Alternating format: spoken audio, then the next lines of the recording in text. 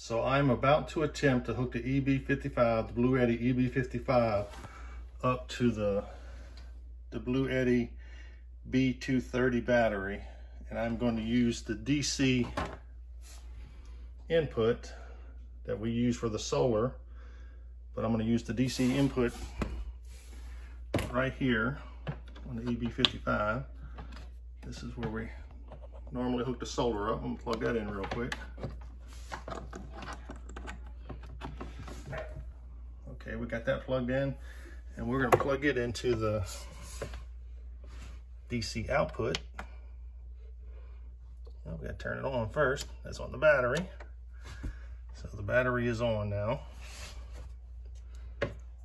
We're gonna plug it in.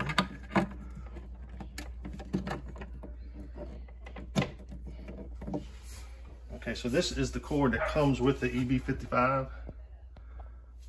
Cord right here that I used, I just plugged in. So we got it plugged in now.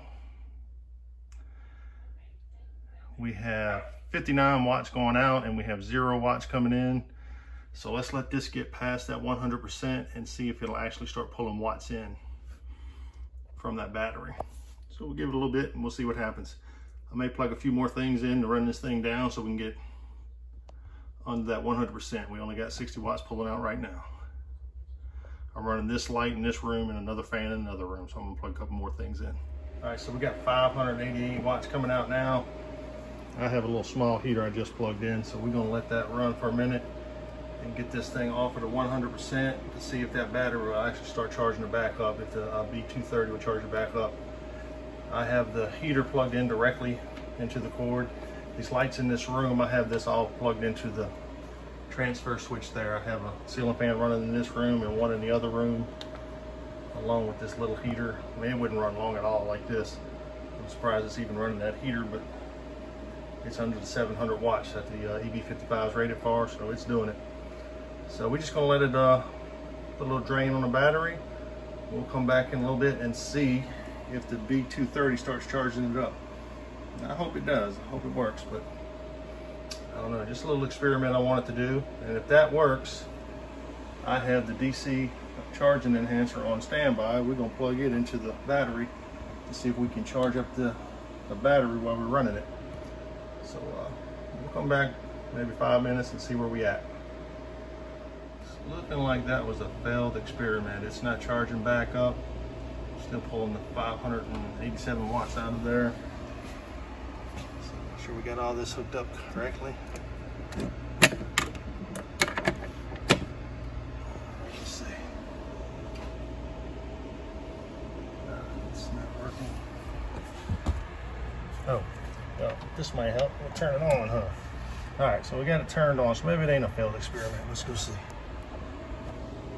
It's working.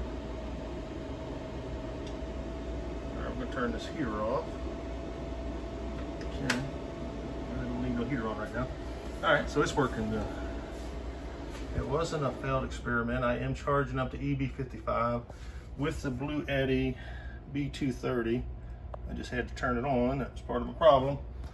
So my next experiment is going to be, can I charge up the B230 from the solar using the DC charging enhancer at the same time that I'm charging this EB55 back up. So, so let's see if that's gonna happen. So this is where the DC charging enhancer will, sorry about that, plug in right here. So that is plugged in. It's a green light. And of course, that's not gonna turn, it's not really gonna kick on until this B230 gets below the 100%. yeah, we're gonna let this run for a little bit. We see we down to 60%. We have 82 watts coming in from the uh, B230. It ain't the best watch, but it's better than nothing.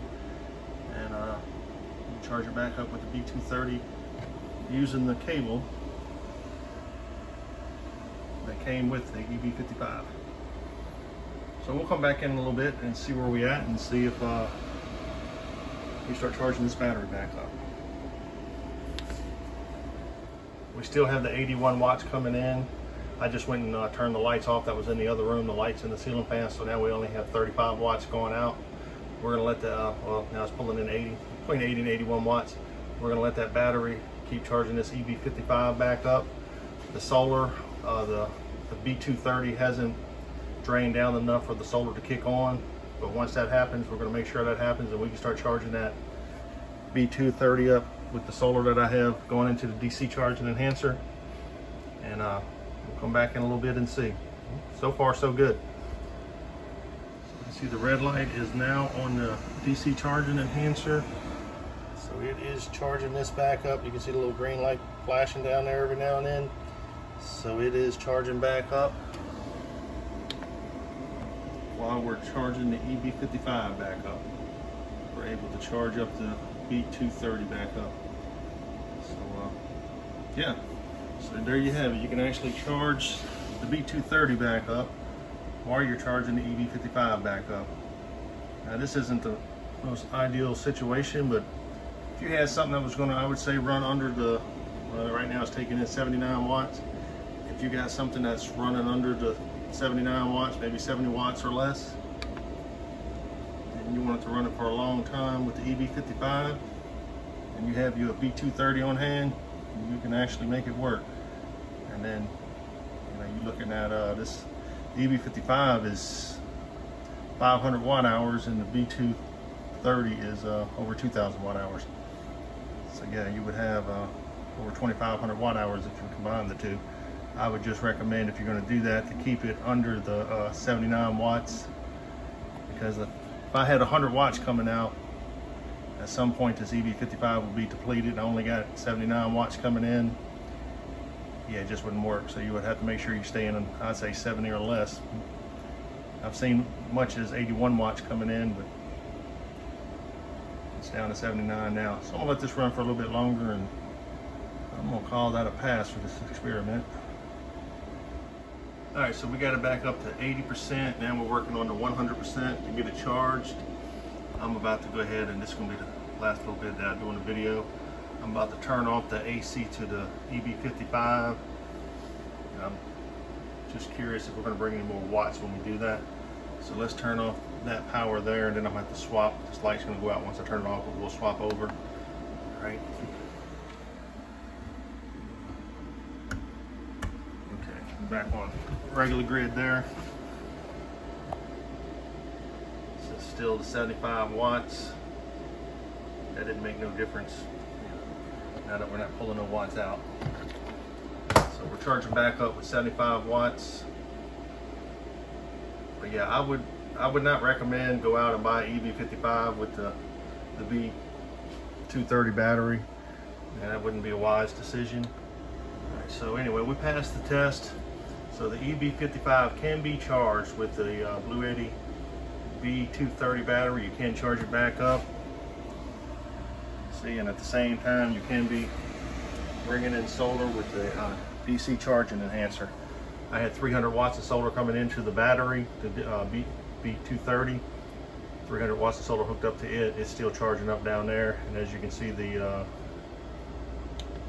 EB55 is still being charged. We're at 80%, a little bit longer, we should be at 100%. I would not recommend buying an EB55 and a B230.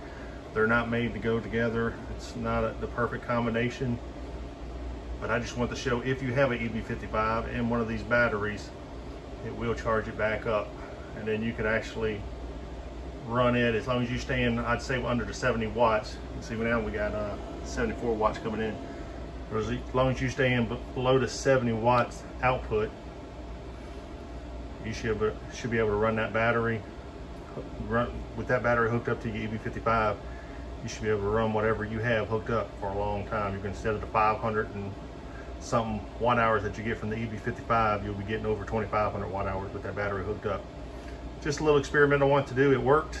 So uh, hope you enjoyed the video. As with anything, we're gonna have a, a link down in the comments whether it's the power station or the battery. We'll have both of those on our website and we'll have a link to our website in the comments. Uh, once again, I'm just gonna say I would not recommend this combination. I just wanted to do that test to see if you could actually charge it back up with it. Seemed like it worked with no problems. I'm gonna let this top off with that battery and the solar. Appreciate you taking time out with us. Hope you enjoyed the video.